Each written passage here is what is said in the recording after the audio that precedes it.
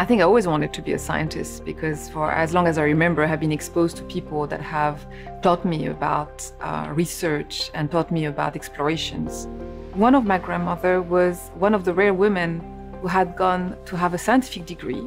And she had a laboratory in her pharmacy later on in which I could go as a child and play with you know, the scales, the tubes, and, and all of that. And the laboratory environment was for me something absolutely magical. Yasmine is, a, is an extraordinary individual who not only has done elegant work, but has been in there really from the very beginning. So we refer to her, I think, appropriately and justifiably as a pioneer.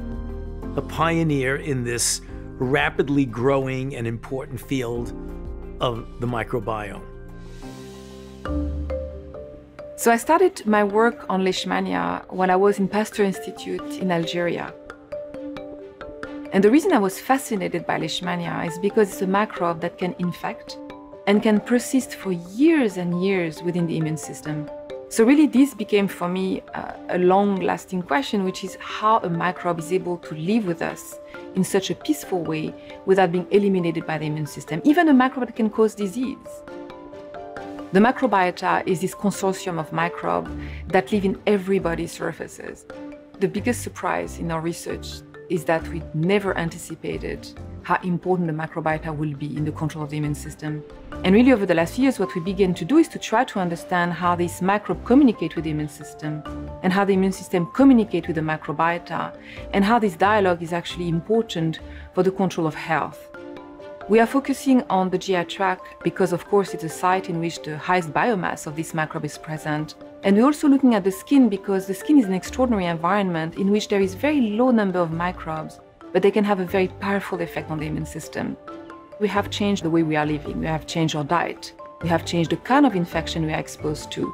We have also uh, changed the kind of medication we are taking. And together, this has dramatically changed the composition of our microbiota but also the way we're actually responding to this microbe.